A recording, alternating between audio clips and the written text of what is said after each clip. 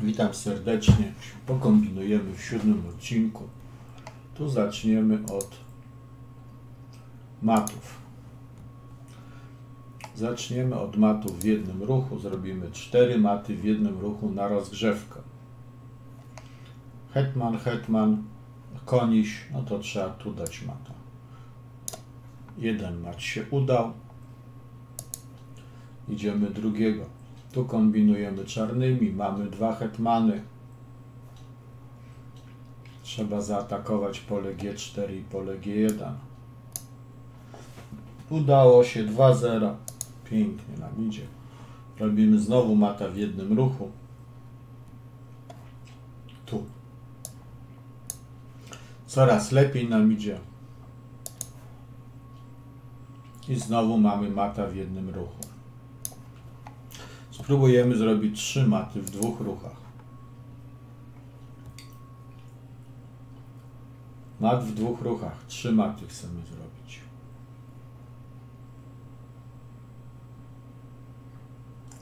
Pion odbiera czarne pola.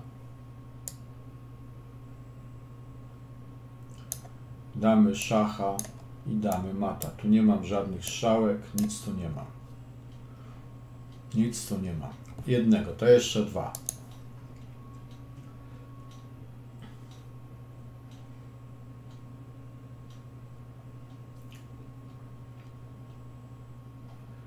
Mat w dwóch ruchach. Skoczek G3 i jest mat w jednym ruchu? A miałem dać w... A. I nie ma tu. A. Skoczek G3 i wieża odchodzi gdzieś tu. Wszystko jedno, gdzie odchodzi. Jeszcze trzeciego dajemy. Trzeci mat w dwóch ruchach. Oj, oj, oj. oj. To się nazywa zaciągnięcie. Zaciągamy króla pod matę. No to teraz zrobimy dwa maty w trzech ruchach. Może nam się uda. Tu widzimy, przy tych matach trzeba podciągać figury i do ataku, więc jak damy szacha, szacha powinien być mat. Podciągamy, raz, podciągamy dwa i mat. Udało nam się, szukamy. Dobrze idzie, pięknie idzie.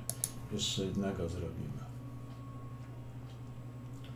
A tu już tak pięknie nie idzie. Tu dajemy mata pionkiem. Doliczyliśmy się, nie ma mata na H7, bo hetman broni. Odblokowujemy pole F7. Jak hetman to dajemy mata i dajemy mata pionkiem. No, no to spróbujmy zrobić jednego mata w czterech. Tu nie ma szacha. Zrobić mata w czterech. Mata w czterech to trzeba zrobić przestawiając hetman, goniec, goniec. Nie chce mi się tego liczyć. Ale to musi być tak. Tu musi być tu, bo nie ma innego wyjścia. A, no to, a dlaczego w drugą stronę nie poszedł? Ale no nie mogę analizować. Chciałem pójść. No to ja dobrze poszło, to co teraz robimy? Na elo czy na, czy problemy robimy? Problemy. Mamy ranking 2063 i robimy, po roz, rozgrzaliśmy się, robimy problemy. Cóż my to widzimy? Król w siatce matowej.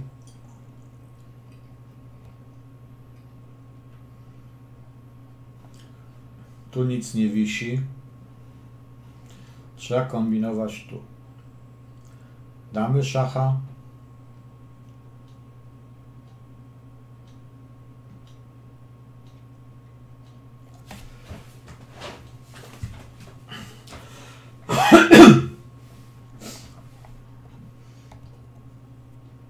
Nie ma opisanego trudności.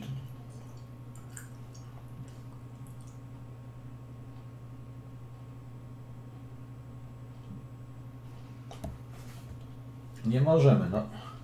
No ciężko jest. No skoczek F6.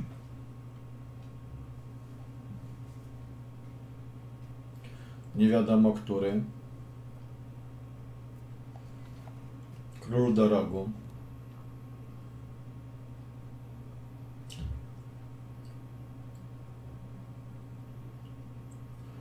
Tu jest koncepcja król G1, wieża H1, jakby nie było pionków H.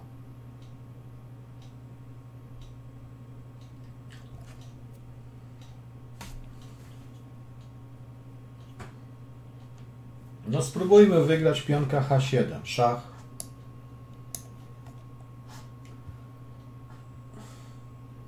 I nie może bić na H6, bo zabieramy hetmana.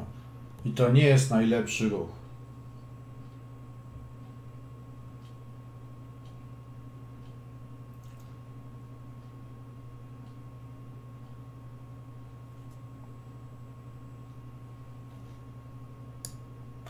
Ado.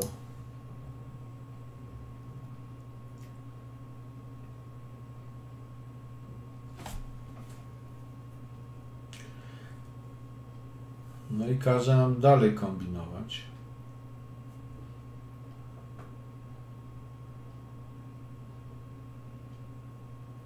I wygląda na to, że trzeba zakombinować król G2. Nie może być ani królem, ani hetmanem. To kombinujemy król G2, no trudno. I jest lepszy ruch. Jeszcze lepszy.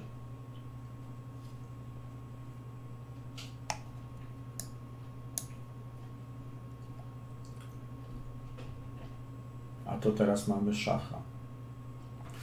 To teraz mamy dobrego szacha. Jeszcze lepszy ruch jest.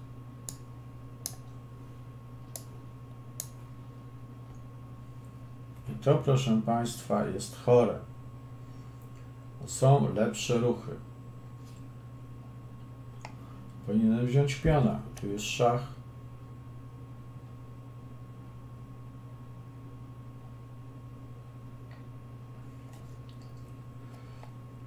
Jak dam szacha, musi się zasłonić koniem. No i wtedy zagram to. Jeszcze lepszy jest.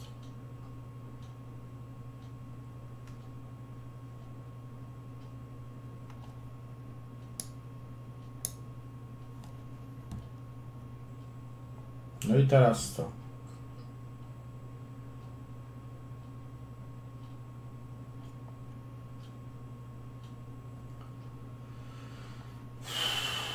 Kombinacje na tyle ruchów do przodu.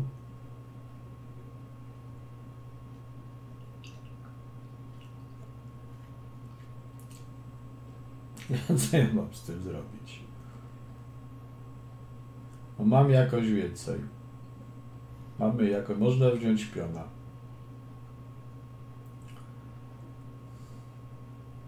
Można dać szacha, nie wiadomo po co.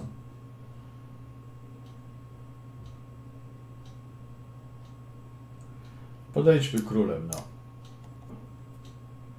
Jest lepszy ruch.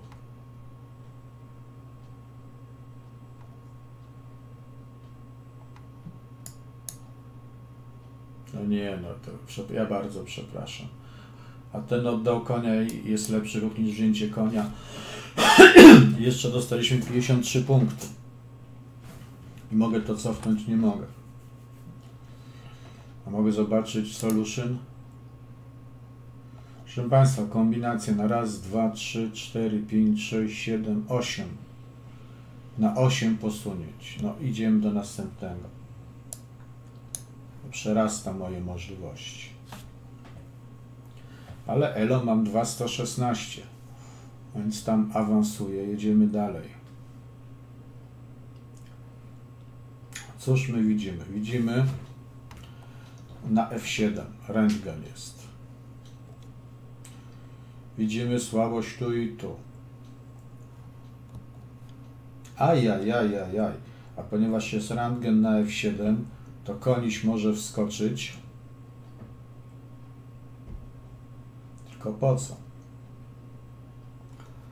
Goniec może zbić na F4. Tylko po co?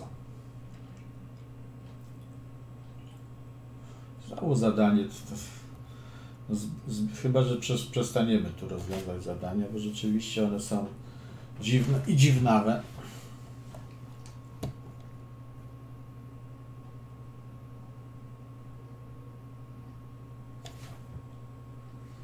Jest taka kombinacja E5, jak bije. Nie ma tej kombinacji. Chciałem zbić i tutaj napaść na A. Zbić i napaść F7 i skoczkiem wideł, tylko nie ma żadnych wideł. Jest jeszcze kombinacja goniec bije F7. Szach in szach.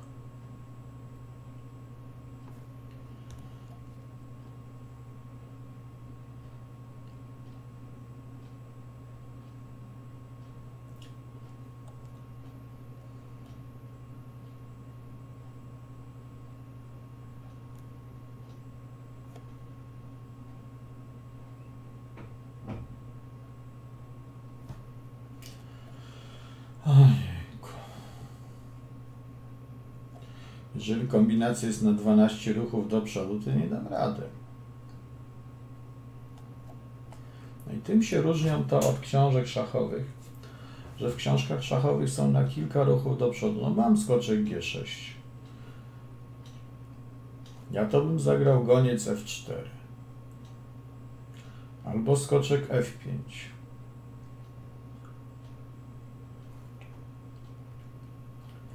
Jak zagram goniec F4, zagra goniec D6, będę miał się spyszna.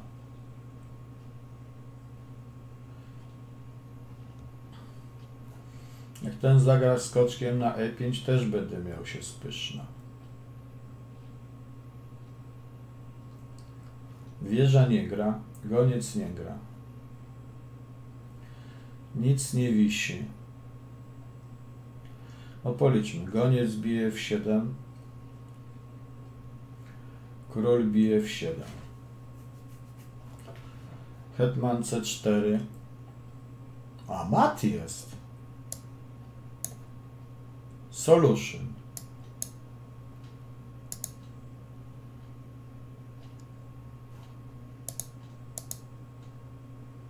No tak, no bo jak zbije to jest szach i skoczek G6 mat. Dostaliśmy 34 punkty pot lał się strumieniami. No zróbmy jeszcze jedno, chociaż zniechęcam się do tych zadań. Się napociłem, zrobiłem jedno posunięcie. Dobra. A, tu nie myślałem, że tu jest wieża, ale mam słabe okulary, że patrzy rentgenem. Tu jest mat. Tu można tego gońca wygrać. Jak zrobimy podwójne uderzenie na hetmana, tylko to nam skoczek zbije. Ale goniec H7, jeżeli zagramy skoczek bije D5,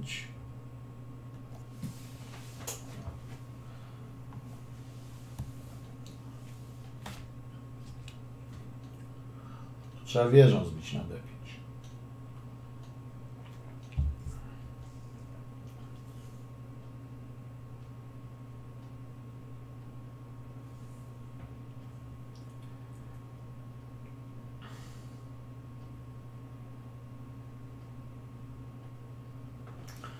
Skoczek bije D5.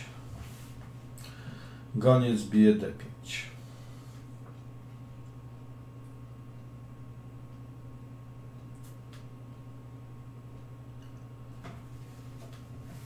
I hetman F5 lub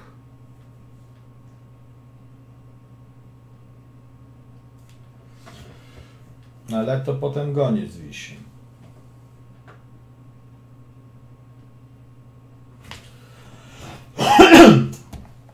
Jest na motywie mata. Hetman H5, Hetman F5, Hetman D3. Że Hetman atakuje skoczka. Może zagrać Hetman D3, ale to ucieknie skoczkiem. Nie będzie mata. Więc trzeba zbić skoczka. Bijemy wieżą, no trudno. I po rozwiązaniu bo jak nam zbije, to mamy hetman d3 na tego i na tego. Uff, dużo potu, ranking 275, jeszcze jedno zrobimy. Jeszcze.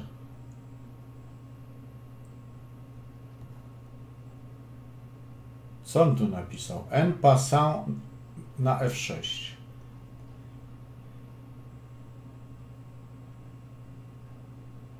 Co to jest? En passant na F6. Jaki en passant?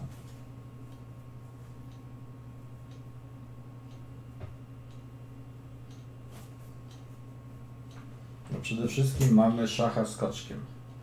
Hetman odcina wieżę. Jak damy szacha z koczkiem, król musi iść do rogu. Więc dajemy szacha z koczkiem, w ogóle się nie przejmuje. Moment.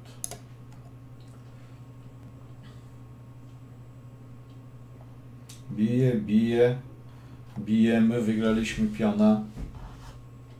No nic więcej nie wygrywamy. I teraz pytanie gdzie? Na F7 czy na E6? O, no trudne pytanie. Skąd ja mam to wiedzieć? Ale jak pójdziemy na E6, to możemy skubnąć jeszcze na C7. I będzie miał problem z odbiciem. Nie ma skoczek C5. Jest skoczek C5. Ojej.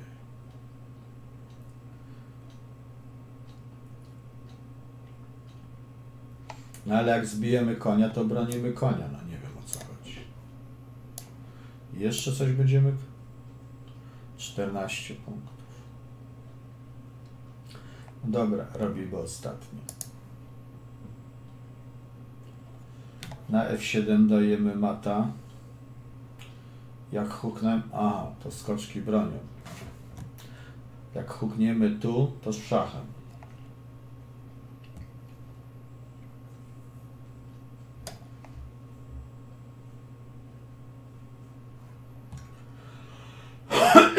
Hetmana nie wygrywamy.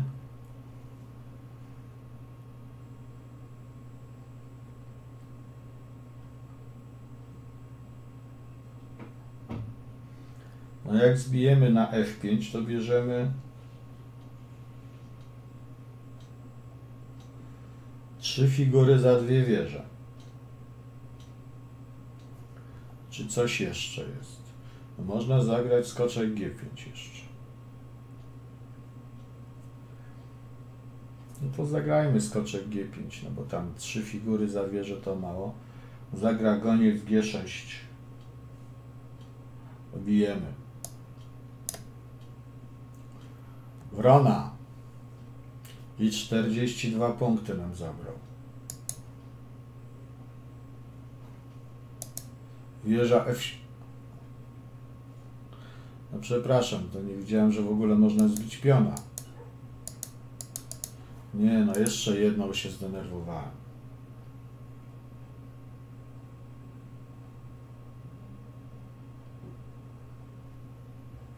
Są czysto komputerowe zadania.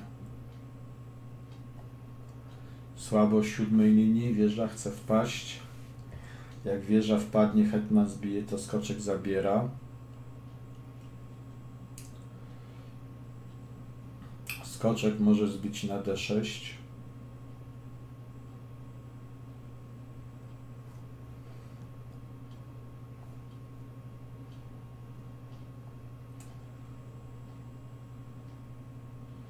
No jest ruch skoczek, bije E6. Jeżeli król bije E6,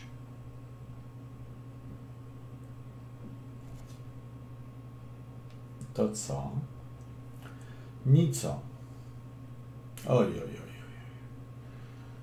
A jeszcze mamy skoczek bije B5. Jak skoczek bije B5, hetman bije C4.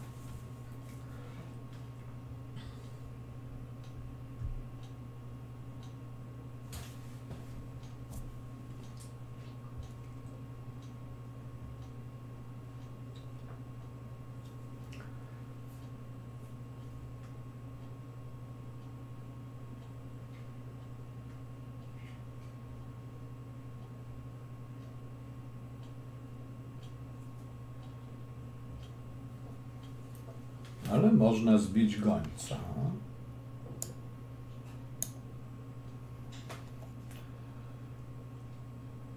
Teraz można zbić na B5.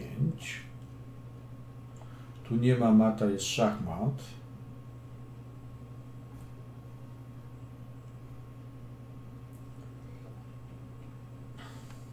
Hetman bije gońcem, się zasłania. I mamy skoczek A4. Wrąg. Proszę, kombinacja na tyle ruchów do przodu. B4, cichym.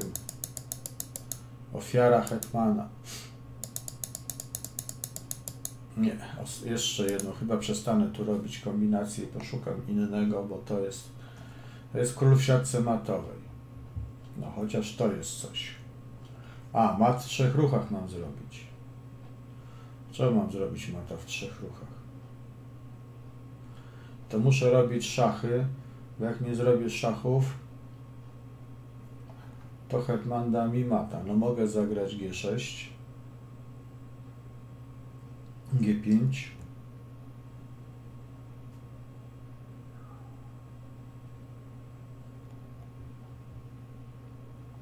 ofiara wieży, koniś likwiduje piona i kto daje mata? Czyli wieża H3, król H3, skoczek F4, i, a i mat pionem. No, wreszcie coś mi się udało.